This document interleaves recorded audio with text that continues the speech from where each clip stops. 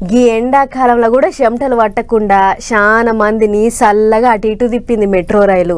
ఓ దిక్కు బయట ఎర్రటి ఎండలు కుత కుత ఉడికిచ్చిన పట్నం పబ్లిక్ మాత్రం మెట్రోలో హాయిగా తిరుగుతున్నారు. మెట్రో రైలు ఎక్కి తిరుగుడు అందరికి పగ్గు అలవాటైంది. అయితే అంత మంచిగానే ఉన్నది కానీ గీ నడమ మెట్రో బంద్ అవుతున్నదట అమ్ముతుర్రాట ఇక నడవదట అని అంటుర్రు కదా చాలా మంది. అంత పూట్ పూట అవుతుంది కదా. మరి ఇక గమ్ముచ్చట్లేంటియో ఒక్కసారి అరుసుకొని వద్దాం పార్రే. దినం కిక్కిరిసి తిరుగుతాన్రు శాంతి లేకుండా నిలబడతాన్రు కిటకిట కటకట అనుకుంటానం గాని మెట్రో రైలు ఇంకా లాసులనే నడుస్తుందట. మొన్ననే ఆఫీసర్లు అంత లాస్ అయితాంది అమ్ముకుందామని చూస్తాన్నాం అన్నట్టు మాట్లాడినరు కదా. అందరికి తెలిసిన ముచ్చట్నే.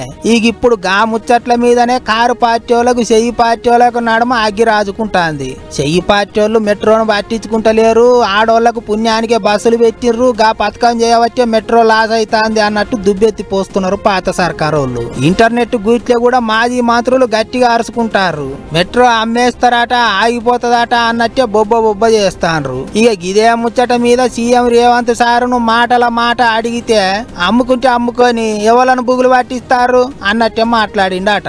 మెట్రోను ఎట్లా నడిపియాలనో తెలుసా అన్నట్టు చెప్పిండట.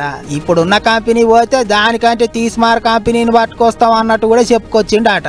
అంతేకాదు మెట్రోను అమ్ముకున్నా ఏం చేసినా ఆడోళ్ళకు ఫ్రీ బస్సు పథకం మాత్రం అస్సలు తీసేసేదే లేదన్నట్టు మాట్లాడిండట సారు. ఇంకో దిక్కు గివే ముచ్చట్ల మీద కారు పార్టీ వాళ్ళు గరం అవుతాండ్రు ఆ చూడర్రే మెట్రోను అమ్ముకోమంటారు. గట్లనేనా మాట్లాడితే అని గరం అవుతున్నారట ఇంటర్నెట్లో కూడా మెట్రో ముచ్చట్ల మీద పబ్లిక్ తీరు తీరు కామెంట్లు రాస్తారు. తిరిగి బస్సు పథకం వద్దని కొంతమంది ఉండాలని ఇంగింత మంది కామెంట్లు రాస్తారు మరి ఏం చేస్తారో ఎట్ట చేస్తారో గాని సీఎం సారే అమ్ముకుంటే అమ్ముకోమనుర్రి అన్నాక మరి ఇక మెట్రో కథ ఏ మలుపు తిరుగుతుందో చూడాలి అనుకుంటారు ఇప్పుడు అందరూ.